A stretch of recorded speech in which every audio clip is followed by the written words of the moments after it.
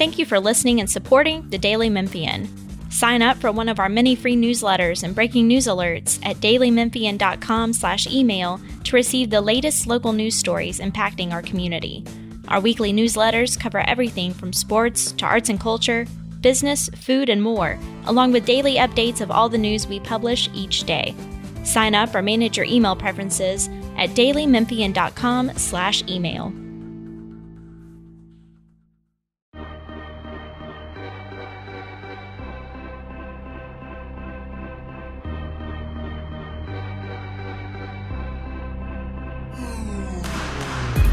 Welcome to another bonus edition of the Daily Memphian Grizzlies podcast. You can subscribe to this podcast and all of our other Daily Memphian pods wherever you get your audio. You can always find them on our site at dailymemphian.com. Encourage you to sign up for our twice weekly Grizzlies Insider newsletter, which also includes links to all of our Grizzlies stories, pods, and what they call content these days. I'm columnist Chris Herrington. Earlier this week on this pod, uh, beat writer Drew Hill and I wondered whether a healthy Grizzlies should be favored to win the West. A few days later, the Grizzlies, Grizzlies are now half a game out of first in the conference. They're in the league's top 10 um, on both offense and defense for the first time this season, and yet they are further away from full health than before. Um, they did get back reserve wing Ziaire Williams on Wednesday night in, in, beating the Oklahoma City Thunder, but that was paired with news that starting scoring guard Desmond Bane will be out for at least three or four more weeks. And I, I want to, you know, underline at least because there's no certainty on this subject. To react to that, I welcome back a recurring bonus pod guest this season uh, in the tennis volley that is our pods this week. The the ball is back on our in our court. Keith Parrish, who talks general NBA on his fast break breakfast pod, and Grizzlies on his grits and grinds pod, coming at us from Nashville. What's up, Keith? Hey, Chris. How are you doing? I'm doing well. I'm doing well. So so the medical release we got on Desmond Bane uh, after the game um, you know, a week ago, Taylor Jenkins had said they would have they would have a, a an update early this week. To me, once you hit midday Wednesday, you're no longer in the early portion of the week. And then he said before the game, you know, maybe we'll have something later tonight or tomorrow. We did get it about 10 minutes after the Grizzlies postgame media session ended. They put, they put it out and it says, I'm going to mostly quote, because uh, I think it's important to actually pay attention to the language on this. Upon reevaluation, Desmond Bane is progressing in his rehabil- rehabilitation from a right toe, uh, right big toe sprain and sesamoid, new word to me, injury. Um, he's been cleared to begin a gradual reloading protocol. If, if, I'm going to emphasize if the toe responds positively to the reloading protocol, return to play is projected in three to four weeks. Uh, armchair sports medicine guy, Keith Parrish, what's your reaction? I mean, it's overall it's bad it's discouraging the the wording you said you wanted to be careful to get the wording right they i imagine they spent a lot of effort yes. and energy on their wording right. and the things they wanted to say and i think most people pointed out beforehand that the difference between Ziaire's injury update and Desmond's previous injury update, where they said Ziaire is expected back and then Desmond Bane will be reevaluated. But this one, you also throw in what I consider to be the fake phrase gradual reloading protocol. Right. That that means nothing to a human being who's not working, I guess, for an NBA team. And even then, it feels like made up speak. Um, it's not positive news. It's clearly he's struggling with this toe thing and what I've learned uh, a sesamoid is. But uh, yeah, it, it's it, it's bad and yeah, I mean, we can paint like the rosy picture of that. And I know you have in your column on the Daily Memphian. I did it on my Grits and Grind show. Like there are upsides to it. Like the schedule's kind of light in the next few weeks as far as the number of literal games you actually play. But um, yeah, I, I did not love this carefully worded injury update. Also, I want to know why do you think they did the timing of this? This is a particularly chosen timing too. This I don't, is not I don't know. just when they got the I'm, was the doctor writing up the report during the game and then they got it during the game and they're like, all right, now let's drop it. Well, I mean, the specific timing of doing it, like you know, ten minutes after the game. So, I mean, th- there's some strategery in that, I guess. But in terms of doing it yesterday versus two days before, I, I think it took them it took them that long to get you know, their ducks in a row and get all the reports back and the conversations with the doctors. And it's my understanding that on Tuesday, I think Drew and I recorded on Tuesday earlier this week. It was my understanding that on, on that day, they were actively doing medical reevaluation. Um, so it's not something. This is not something they've had in their back pocket and they've known for a week. I, I don't believe that. I think they were they did medical reevaluation, and and this is what they found. And and they found, you know, the, the word sesamoid, which is uh, you know something inside your toe. We, we don't get too many details here, but that is new. That was not in the earlier injury report. So this is more information in that regard. It's also more vague on that. It's a big toe sprain, and sprain is somewhat vague, but that's more specific than injury. Injury could be like anything, right? Um, I I think, look, you know, to, to get out of the boot and to start doing on court work is one level of progress. And so when they say there has been progress, there has been progress.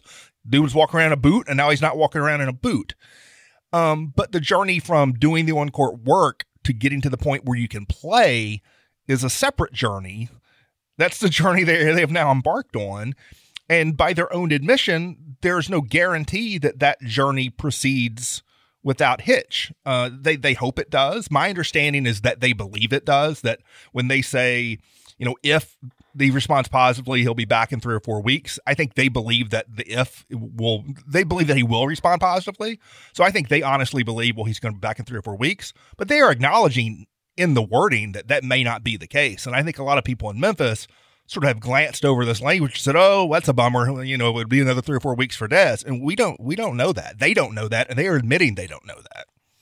So, as a very amateur sports um, physiologist slash uh, you know injury expert, one thing I do know about the human body, I hope I'm getting this correct, is the the feet are an area in the body that have relatively low blood flow and don't heal as quickly as some other parts of the body sometimes, and that's why you get these weird like hey, we thought Lonzo Ball or whoever it was, uh, like Zion Williamson had the foot thing. And it was like, we actually thought his foot would heal.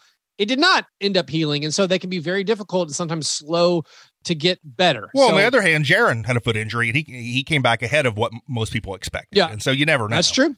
That's true. You never know. Yeah. Um, so, so you you said earlier, you know, put a silver lining spin on it. I, will push back on that. I don't think what I wrote was a silver lining spin. It's not that there's anything good about Desmond Bay not coming back. I think it's that the Grizzlies have shown they can be good without him.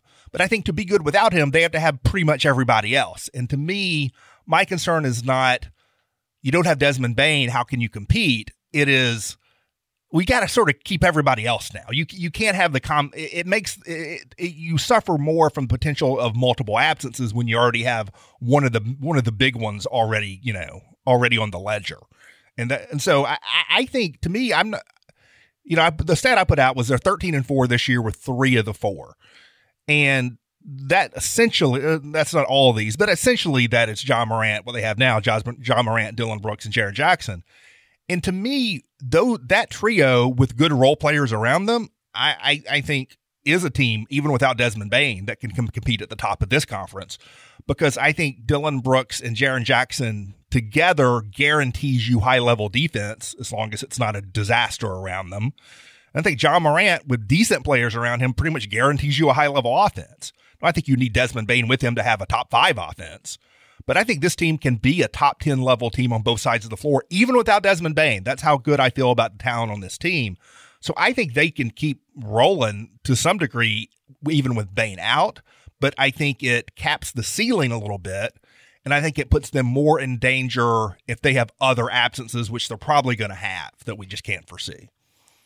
Right. I think I could take, I could honestly take it as a slightly if I wanted to do a positive spin, I do think there is some benefit, maybe long term, to with Bane missing this time. It's going to mean like Roddy and LaRavia are not just kind of cast off into like barely playing roles. They're going to keep getting hands on experience. Ziaire Williams is going to get even more minutes as he returns from his injury. So maybe that'll benefit the team down the line where he will find his footing even quicker. He'll continue to improve. So the the ability to get maybe guys lower down on the pecking order more and more minutes. Um, that could be a positive spin if we're trying to find the uh, the silver lining.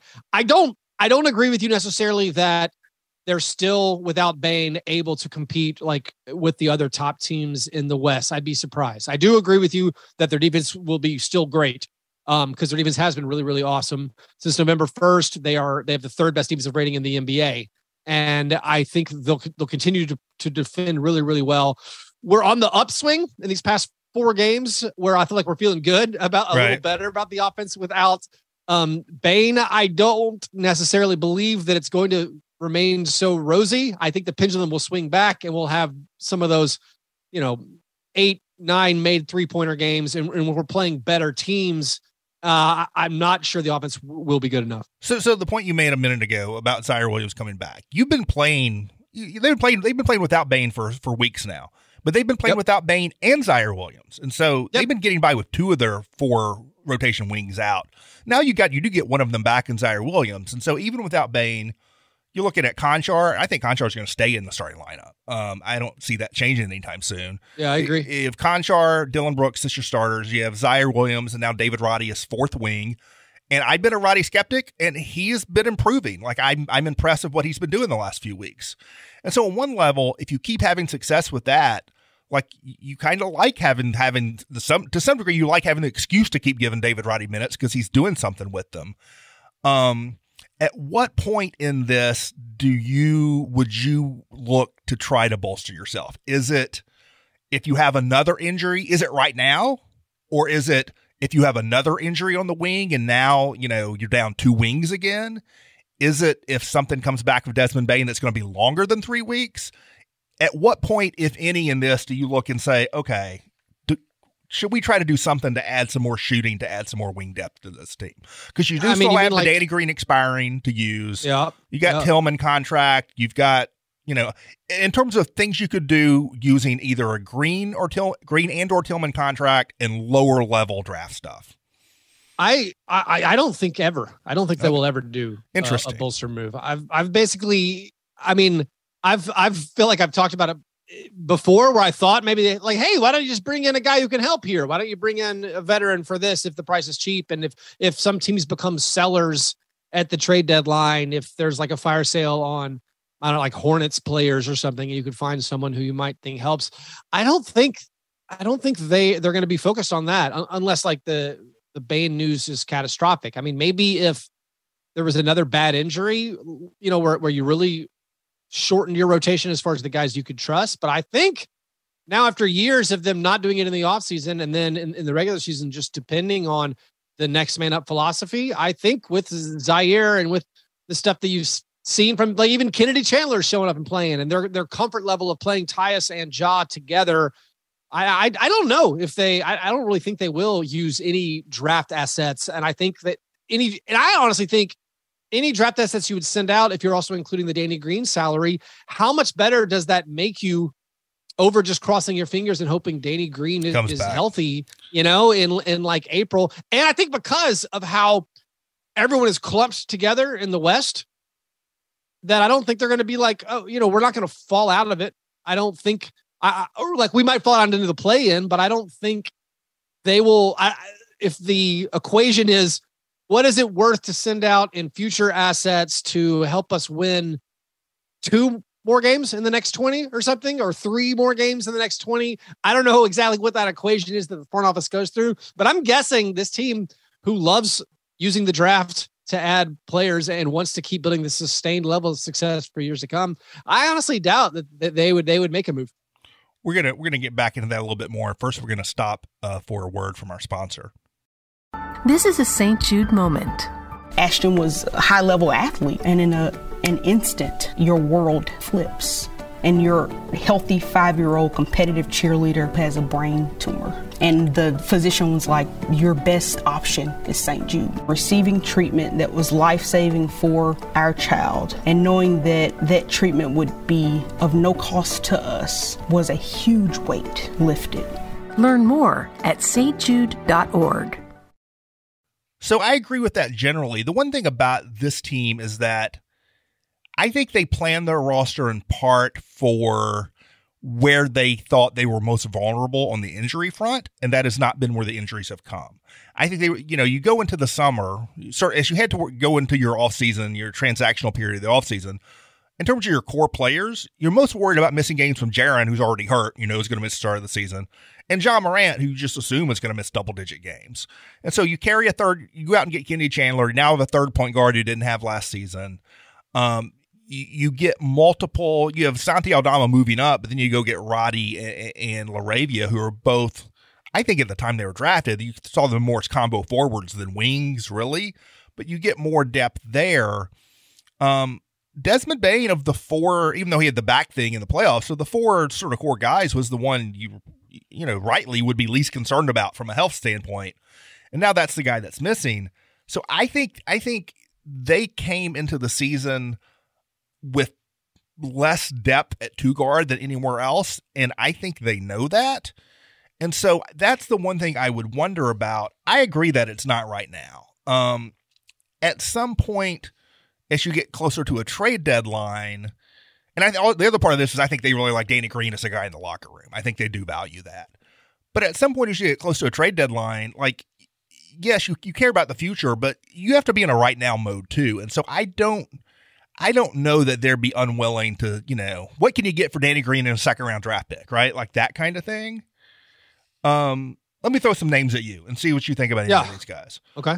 So I, I, I got I got six. I got six possibilities. This is sort of in roughly reverse order of interest.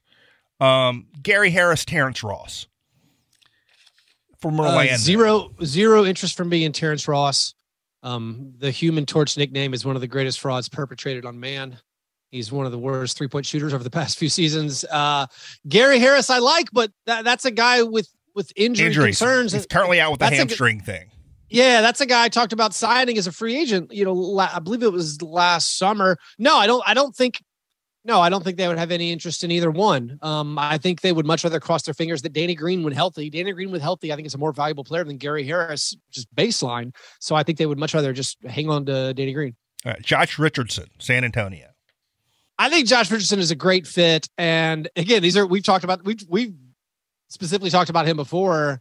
Um, you know, I I would be in favor of bringing in Josh Richardson right now. He was even Would you do Danny? when would you in- do Danny Green in a second round pick or two second round picks or whatever? You're not sending a first. I don't know. I mean, I've I've basically like I don't know if I've just um I've just given up with my like trade dreams where I'm like they're not going to trade anybody. They're they're they're going to let these guys play because I mean here here's here's what I'm thinking and uh, not to beat a dead horse but like they had a three point shooter under contract. They had a defender under contract. They had a backup two guard under contract in Melton. They traded him for a rookie in Roddy and they traded him for Danny Green. So then why would you go back and get a very similar player in Josh Richardson, who similarly has struggled um, being a backup on some good teams? Like he was bad on the, on the Sixers. I, I don't, I, I, I can't imagine the front office now deciding, you know what, never mind let's just let let's go get Josh Richardson. Like maybe I would, but even then, I, I feel like now I've gotten. I'll just sit on my hands and be like, I guess I trust the development of this team. Not to kill your whole segment. I'm sure there's more exciting names coming up. I'm gonna see if I can convince you on one of these. Again, I'm starting at the bottom Okay, and, mo- and okay. moving up. Uh, Malik Beasley. My Ah. problem is I think the Jazz would ask for a first, and I wouldn't give it to him. yeah, Malik Beasley had a big three last on Wednesday night against the uh, the Warriors. What are the salary situations? It would have to be Danny Green and something It'd have to be and Green maybe and Tillman. Else. Green and Tillman would would get there. Green and Tillman for Malik Beasley. I mean, just as a gunner, I do think this team needs more shooting. Right. and I still believe that. And so, like that is a, that's an enticing one. I like him more that he doesn't necessarily need the ball in his hands, like a Terrence Ross needs the ball in his hands to score. Um, I like it more than like the Jordan Clarkson types uh, as a six man gunner. I, I could, I could imagine. It, I guess that this is all contingent on if closer to the trade deadline, you felt like, all right, it's it's now below a fifty percent probability or something that Danny Green is going to be good to go. Yeah, I, I I would be interested in like in like a Malik Beasley, just like giving this team firepower. A guy also that you don't necessarily maybe don't have to play. I don't know if Malik Beasley would be okay with that. Um, a guy with But are you with giving up a first round? by Are you giving up a first round pick? Uh, yeah, first round pick. No, I'm out. Right. I'm good. I'll, I'll, think I'll wait for whoever problem. I get with the first round pick in the future. All right, three more. Alex Caruso. If Chicago blows, I mean, up. Why what- would you trade a first round pick for Alex Caruso when you had Anthony Melton? I don't think I would trade a first round pick. I'm wondering what they're willing if they start decide to blow it up. He's got three years left on his deal at like nine million. Um, great Yeah. defender, combo guard, good spot up shooter. I, I don't know. Maybe. If I'm the Pelicans, I I would outbid the Grizzlies. I would throw in one of those one of those Bucks picks or something to get Alex Caruso. I think Alex Caruso would be great for the the Pelicans. Yeah, I mean it, it's an it's an intriguing thought. Um, he could even you know eat into some of Dillon Brooks's minutes. Um, I probably wouldn't trade a first round pick. It, it, just where the Grizzlies are. Like the Grizzlies I'm thinking about well set up right now, and and so I, I probably wouldn't spend a first round pick for what might be a bench player when you're fully healthy. Would you spend a first round pick for Chris Duarte? If Indi- no. if in, oh no, okay. Indiana looks and says No. we got Halliburton, we got Mathurin, we got Nembhard. They're all 22 and under. Duarte's good, but he's 20, he's three years older than these guys, and we're building around them. You wouldn't. Yeah, no. Chris Duarte's not even young. Um, Well, he's he hasn't 25. to- he hasn't, to me, proven that he is. He, he- no, I, I, I Caruso's in my mind a way better player than, than Chris Duarte. I, I'm not trading the Pacers any All first right. round pick for Chris Duarte. Well, then I get to the I get to the one that is the one that I would consider doing. If Ooh, okay. if you're not totally convinced Danny Green is actually going to be able to be a meaningful basketball player for you this season, and I don't know whether the Yeah. Have gotten to the point where they can know that or not. Sure. But to me, it's not a given that he's going to come back from the injuries he had at the age he is. If you know Right. he's not, you flip Danny Green in, in a second round pick or two for Alec Burks? Uh, I like Alec Burks. He's he's a good player. He's instant offense. Um, he's the type of player I feel like for years I've been talking about. Like, why don't we Thirty eight put this guy in? percent, thirty eight percent career three point shooter. If if if he doesn't play some night, no big deal. Like you're Yeah. gonna be, you're gonna be in the playoffs, and I don't know, you know. I know you like giving minutes to Roddy and whatever, but it's okay to have veteran shooters in the playoffs sometimes to soak up some minutes. He also would immediately become. I mean, while Bane is out, he would become the second best guy on the team at creating his own shot in the half court situation. Like Alec Burks can get you a basket. If it's a shot clock's running down, just get anything, he can do it. He's also really good at getting to the foul line and he's a really good free throw shooter. So, like, yeah, I would definitely consider, you know, if Danny Green's not playing, which we have to keep saying is the caveat, I would definitely, I would definitely trade, you know, two second round picks or something just to bring in Alec Burks because he's like a, a instant offense, break glass in case of emergency. He's not going to kill you on the defensive end. I do like Alec Burks eh, eh, as a strong fit and someone who would probably not cost you very much as far as draft assets. So that that's the guy I'm looking at. I, I just think that at some point, and we'll see what happens. Eh, we'll see what happens. I don't think it's. I don't think we're at the point. But if the Bane thing ends up being more than three weeks, heaven forbid, if the Bane thing ends up being like you know, eh, where it's going to impact deep into the season or beyond. Um, if some other injury pops up, there's no guarantee that like you just can't assume all these other guys are going to stay healthy. I, I- think, I think, I think at some point they may need to consider you know bolstering that wing depth depending on what other things happen. And so that's a guy I'd be looking at right now. Um, what's your general sense of things? You you are you excited about Jaren? Are you believing his believer in his shooting yet? You were the skeptic on the Jaren shooting. I've been the like, don't Well, worry his, about it. his it's fine. three point shooting isn't high, but it's nice. Like it's going. What, what is he like? It's thirty five percent, but that includes zero for seven. That that Yeah. includes zero for seven in his first game back. It's like in the forties. Oh, that's true. That's a good point. Yeah, he's, you know, 35% league average. No, uh, even if the three pointers aren't necessarily creeping closer to 38, 39, all the other offense has been so good so far that, yeah, it's been really exciting. And the combination of, of that with him just doing the Jaren things on the defensive end, it's been spectacular. And that does have me in a very good mood. That has me in the mood where I'm not like, I, I like, I don't need to trade for anything because where we are right now it is pretty solid, even if Bane's not playing. And yeah, I'm real excited about Jaren and definitely crossing my fingers that like this is sustainable what he's doing right now. If it is like 18, 19 points a game, um, you know, and, and three blocks or whatever, it's it's been awesome. So what? How do you see the West right now? Uh, I still think that the Suns are quite good, despite as long as they're not playing the Mavericks, the Suns are, are good, or I guess the, the Celtics. Um, yeah, I think the Grizzlies are in a good spot where you can hang on while Bane's out to to still be close to this, you know, the Suns and the Nuggets and whoever else. Um, I would say when fully healthy, I, I trust our team over like the Pelicans. The Pelicans now, right now, number one in the West. Uh, very exciting for them. At what point do we start believing? I, I agree with you, but at what point do we start believing in the Pelicans? I Okay. believe in the Pelicans as far as regular season success, and with the way the West is, where like is fifty three wins going to be the one seed, you know, or fifty two wins or something. Well, I, I pointed, Um, I could pointed out see him doing that. at the beginning of the show. I pointed out the Grizzlies are now top ten on both offense and defense, and one, but four other teams are too, and that's um, the Celtics, the Suns, the Cavs, and the Pelicans, who I believe are top six on both sides of the ball. And I didn't see their defense. The offense doesn't really surprise me. I didn't see their defense being the, do it, doing this well, and I don't I mean, quite understand been- how it has. They've been taking our boy out of the rotation. Mean, they've been playing Jonas, Jonas yeah. less and less. They have so many options defensively. They have like Larry Nance Jr. has been playing great for him. Herb Jones is a great defender. You know, Alvarado off the bench. All those guys are good. Trey Murphy three is a good defender.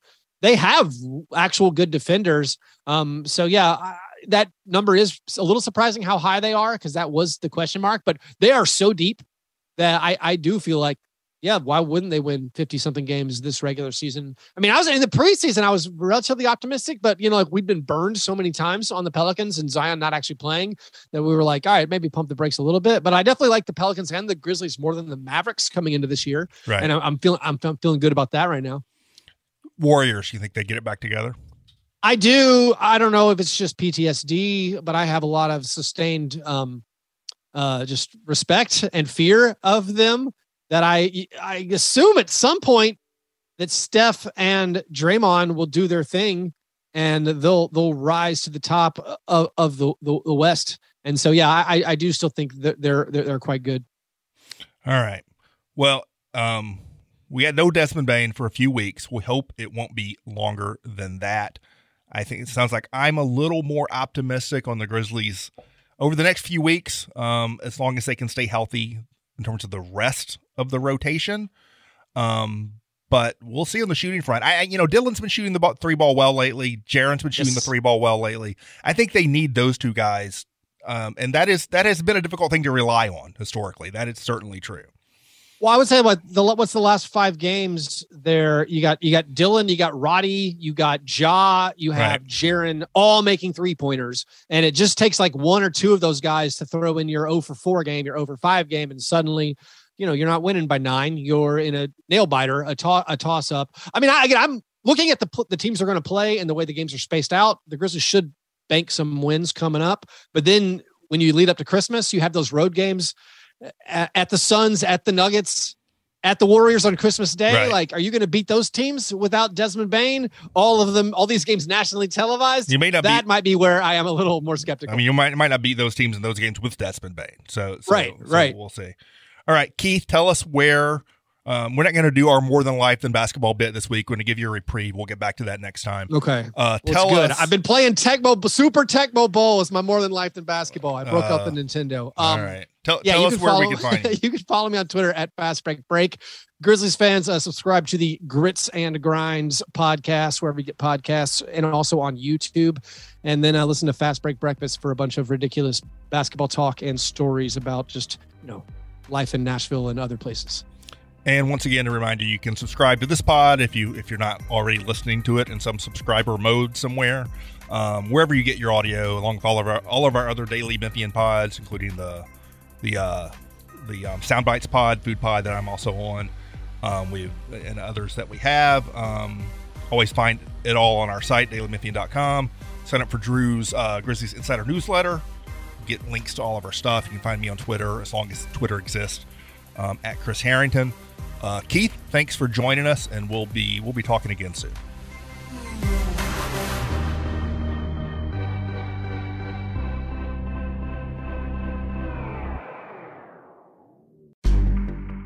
In depth journalism in the Memphis community, the Daily Memphian is of Memphis, not just in Memphis, and seeks to tell the stories of this city. TheDailyMemphian.com. Truth in place.